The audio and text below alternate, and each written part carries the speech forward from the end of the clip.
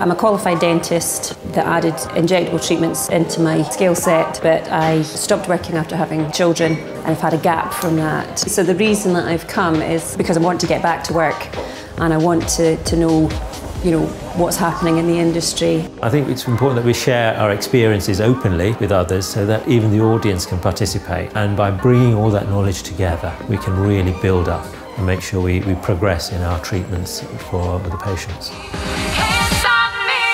This is the Association of Scottish Aesthetic Practitioners, which is an organisation that was set up five or six years ago to encourage communication between aesthetic practitioners. It's got doctors, dentists and nurses practicing aesthetic medicine in Scotland and we all come from a different background and the idea is that we've all got different skills and different things that we can bring to the table and if we talk to each other and learn from each other we'll all be able to improve and become more effective and essentially safer practitioners.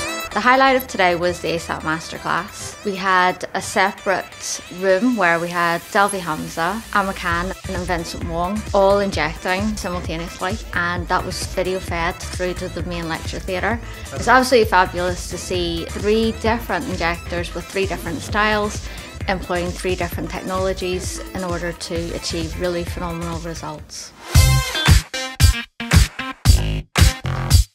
We've had a great two days, honestly. So we attended a lot of lectures yesterday. We're doing a lecture ourselves today. We've met so many different people from dentists to nurses to doctors to people that are brand new in the industry to have been well established. So it's been a fantastic two days just to learn what people want. I think the ASAP conference is very important for networking with other exhibitors.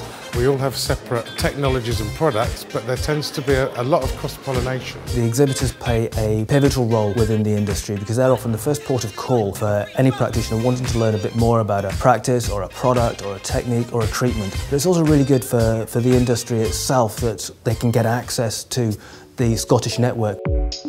Today we are here doing a small pre-launch and Dr. Emma Ravichandran very kindly offered herself to do a small demonstration in the afternoon. So we're here today to showcase the product to the Scottish practitioners at the ASAP conference.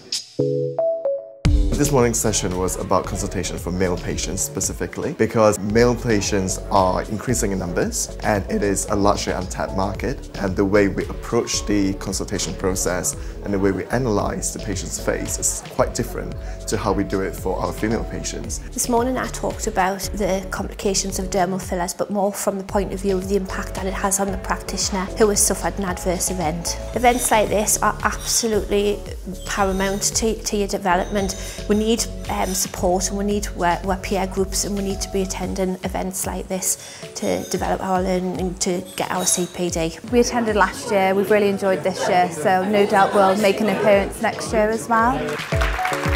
Now, as you can see, it's the end of the conference. We're all knackered, we're going for a drink. Thank you very much, see you next year.